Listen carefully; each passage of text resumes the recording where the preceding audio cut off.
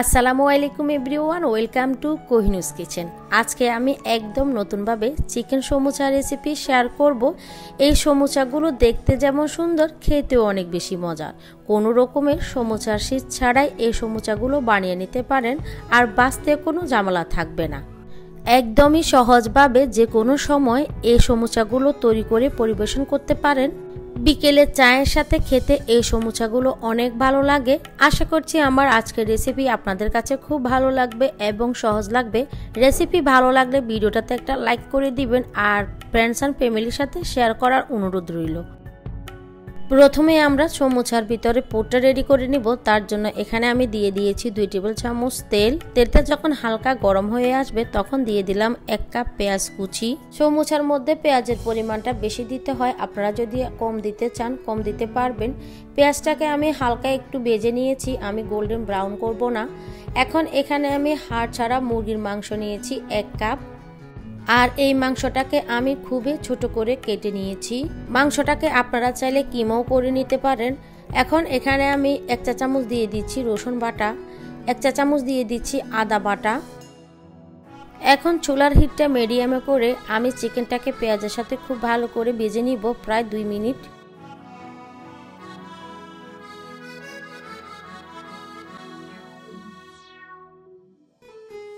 চিকেনটা যখন হালকা বাজা হয়ে যাবে, তখন এখানে হাফ চা চামচ দিয়ে দিলাম হলুদ গুঁড়া, হাফ চা চামচ দিয়ে দিলাম মরিচ গুঁড়া, ওয়ান ফোর স্পুন দিয়ে দিলাম জিরার গুঁড়া, ওয়ান ফোর স্পুন দিয়ে দিলাম গরম মশলার গুঁড়া, আর ওয়ান ফোর স্পুন দিয়ে দিলাম কালো গোলমরিচ গুঁড়া। স্বাদ মতো দিয়ে দিচ্ছি লবণ।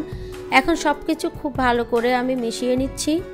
চুলার হিটটাকে এই অবস্থা হাই মিডিয়ামের মাঝামাঝি রেখেছি। সব কিছু একসঙ্গে খুব ভালো করে মিশিয়ে নেওয়া হয়ে গেলে এখন এখানে ওয়ান ফোর্থ কাপ আমি পানি দিয়ে দিচ্ছি। এখন চিকেনটাকে নেড়ে চেড়ে আমি প্রায় পাঁচ মিনিটের মতো এটাকে রান্না করে নিব। আমরা যেহেতু চিকেনটাকে খুব ছোট করে কেটে নিয়েছি, তার জন্য চিকেনটাকে অনেক সময় ধরে রান্না করতে হবে না। চিকেনটাকে পাঁচ মিনিট বেজে নেওয়ার পরে এখন এখানে আমি একটা সিদ্ধ আলু দিয়ে দিচ্ছি। আমি আলুটা একটু বড় সাইজে নিয়েছি। আলুটাকে আগে থেকে সিদ্ধ করে আমি খুব ভালো করে মেশ করে নিয়েছি। সেদ্ধ আলুটা দিতে না চাইলে বাদ দিতে পারেন, তবে এই চিকেন সমুচার মধ্যে সেদ্ধ আলুটা দিলে এই সমুচাগুলো খেতে খুবই ভালো লাগে। প্রায় পাঁচ থেকে ছয় মিনিট বাজার পরে আমার চিকেনটা একদমই রেডি হয়ে গিয়েছে। এখন এখানে আমি এক চা চামচ দিয়ে দিলাম কাঁচা মরিচ কুচি আর দুই টেবিল চামচ পরিমাণ দিয়ে দিলাম ধনে পাতা কুচি। এখন সব কিছুকে আবারও খুব ভালো করে আমি মিশিয়ে নিচ্ছি।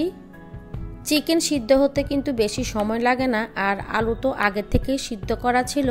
তো আমার এই চিকেনের পুরটা একদমই রেডি হয়ে গিয়েছে। এখন আমি চুলা থেকে এটাকে নামিয়ে নিব। এখন সমুসার জন্য আমরা ময়দার খামিরটা রেডি করে নিব। তার জন্য একটা মিক্সিং বলে আমি দিয়ে দিচ্ছি দেড় কাপ ময়দা। এখন এখানে আমি হাফ চা চামচ দিয়ে দিলাম লবণ, ওয়ান ফোর স্পুন দিয়ে দিলাম কালো জিরা, এক টেবিল চামচ পরিমাণ দিয়ে দিলাম রান্নার রেগুলার তেল এখন সব কিছু খুব ভালো করে আগে একটু মিশিয়ে নিতে হবে। মিশিয়ে নেওয়া হয়ে গেলে এখন এখানে আমি হালকা কুসুম গরম পানি দিয়ে দিচ্ছি। আমি প্রথমে একটু একটু করে পানি দিয়ে একটা মসৃণ সফট ডো তৈরি করে নিব। রুটি পরোটা তৈরি করার জন্য আমরা যে ডোটা তৈরি করে থাকি, এই ডোটাও ঠিক তেমনই হবে। একসঙ্গে অনেক বেশি পানি দেওয়া যাবে না, অল্প অল্প পানি দিয়ে মিশিয়ে নিতে হবে। এতে করে ডোটা একদমই পারফেক্ট হবে।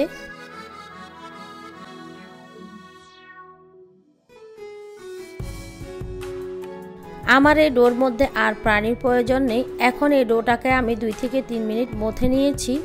এখন ডোটাকে আমি চার ভাগে বাক করে নিচ্ছি। কারণ এই ডোটা থেকে আমি চারটা রুটি করে নিব।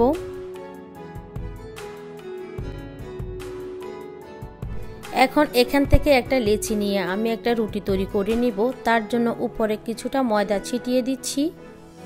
এবার আমি বড় আর পাতলা করে একটা রুটি বেলে নিব। রুটিটাকে পাতলা করে বেলার চেষ্টা করবেন। এতে করে সমুচাগুলো খেতে অনেক বেশি ক্রিস্পি হবে। দেখতেই পাচ্ছেন রুটিটাকে আমি বড় আর পাতলা করে কেটে নিয়েছি। এখন রুটির চারপাশে কেটে একটা স্কোয়ার শেপে আমি করে নিচ্ছি।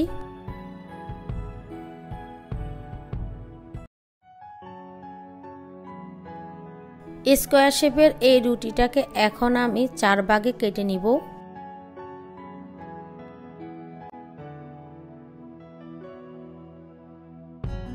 একটা রুটি থেকে আমরা চারটা সমুচা তৈরি করব, তার জন্য আমি এভাবে কেটে নিয়েছি, দেখতেই পাচ্ছেন?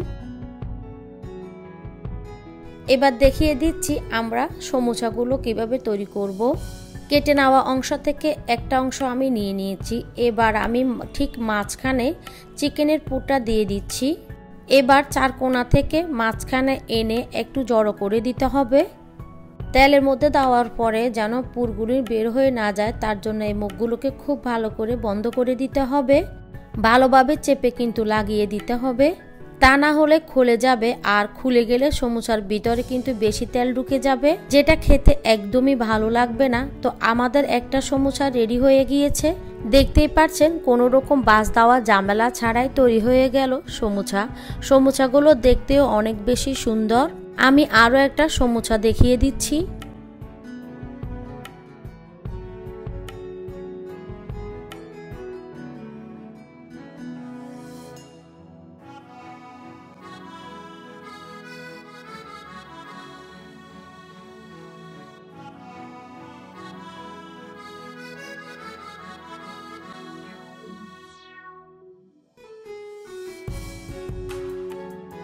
ঠিক একইভাবে আমি সবগুলো সবুচা তৈরি করে নিয়েছি। এখন এগুলোকে আমি বাঁচতে চলে যাব।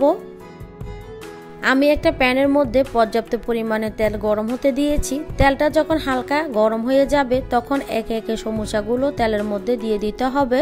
আর দোকানের মতো যদি সমুচাগুলোকে আপনি ক্রিস্পি করতে চান, সেক্ষেত্রে সমুচাগুলোকে একদম ডুবো তেলে বাঁচতে হবে।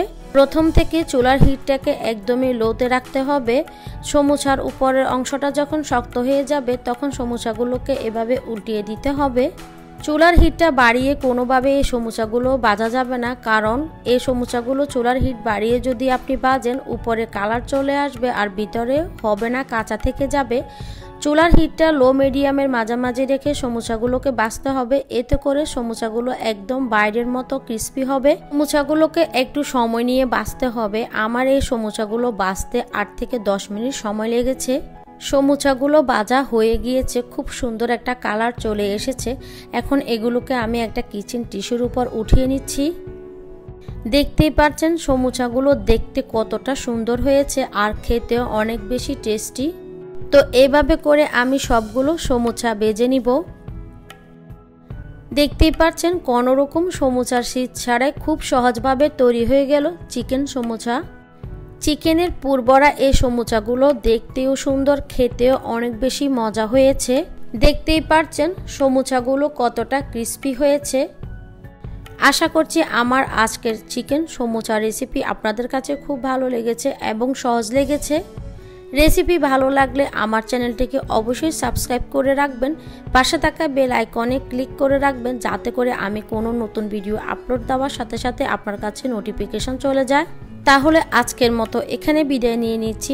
আবার দেখা হবে অন্য কোনো নতুন রেসিপির সাথে। ততক্ষণ পর্যন্ত আপনারা সবাই ভালো থাকবেন, সুস্থ থাকবেন। সবাই সবার জন্য দোয়া করবেন। আল্লাহ হাফেজ।